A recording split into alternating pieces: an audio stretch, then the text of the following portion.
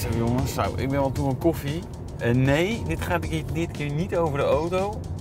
Zo saai is die helemaal niet. Maar ja, we hebben gewoon een beetje een moeilijke route hierheen gehad. Er was een of andere aswolk, een vulkaan, IJsland. Het ging allemaal van onze bierdrinktijd af. Dat hebben we s'avonds moeten inhalen. We een niet korter nachtje. En zijn we heel vroeg in de S60 gestapt. Volgens Volvo de sportiefste Volvo ooit. Aan ons om dat even te checken.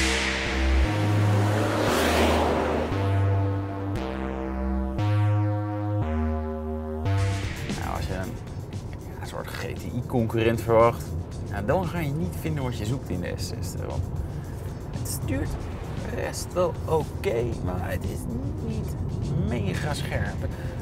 Maar ja, je hebt dat typische Volvo-karakter. Sportiviteit, maar toch altijd wel dat vleugje veiligheid daarin. Ze noemen hem zelf naughty. Uiteindelijk, wat je eigenlijk altijd krijgt in deze auto, is een tikje onderstuur. Dan ga je hard de bocht in, te vroeg op het gas, glijdt hij netjes over de voorwielen weg.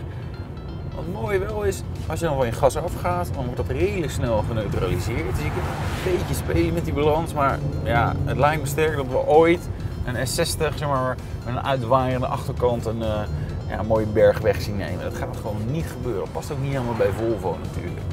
Normaal S60 voorwielaandrijving. We hebben nu louter de AWD's uh, gereden en vandaag de T6.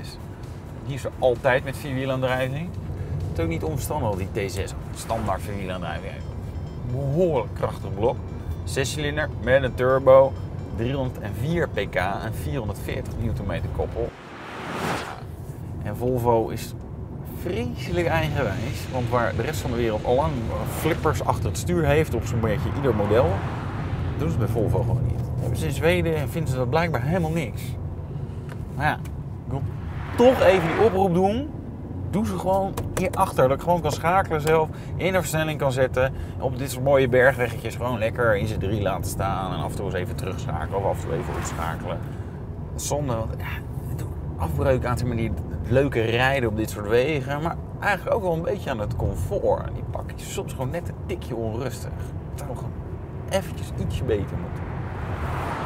Voor is dit natuurlijk gewoon een, ja, een heerlijke reisauto. Misschien is dat wel waar die het beste in is.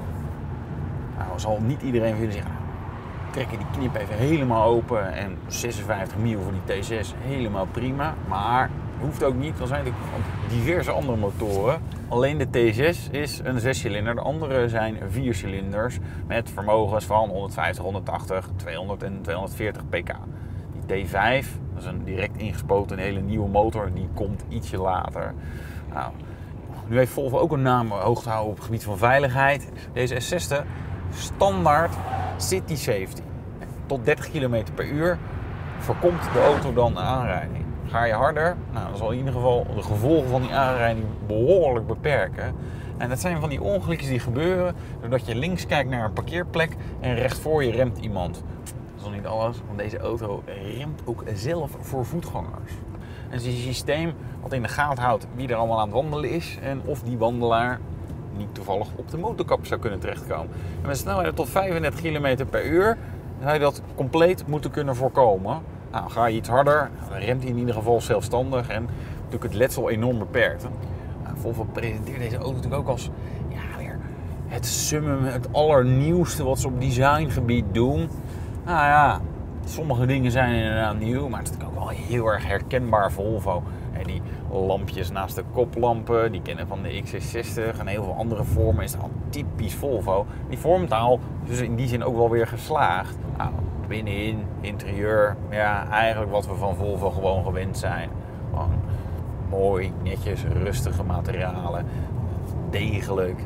Hier een exemplaar met heel mooi bruin leer, maar het, het oogt allemaal gewoon wel erg fraai. De S60 die is er vanaf 35 mil voor de benzine en 36 voor de diesel. Maar goed, je gaat natuurlijk allerlei dingen aanvinken en je wil liever een sterkere motor. Dus dan wordt natuurlijk altijd weer iets duurder. Zo zit het in elkaar. Maar voor dat geld is het natuurlijk wel een interessante aanbieding. Want het is wel een hele echte Volvo. Een hele echte Volvo met die echte veiligheidssystemen. Ook qua uiterlijk en qua rijgedrag. Dan noemen ze zelf wel iets sportiever. Maar oké, geven ze. Niet de ruimste in zijn klasse. Maar het is wel een soort verwennerij als je erin stapt. Het is wel gewoon een lekkere auto.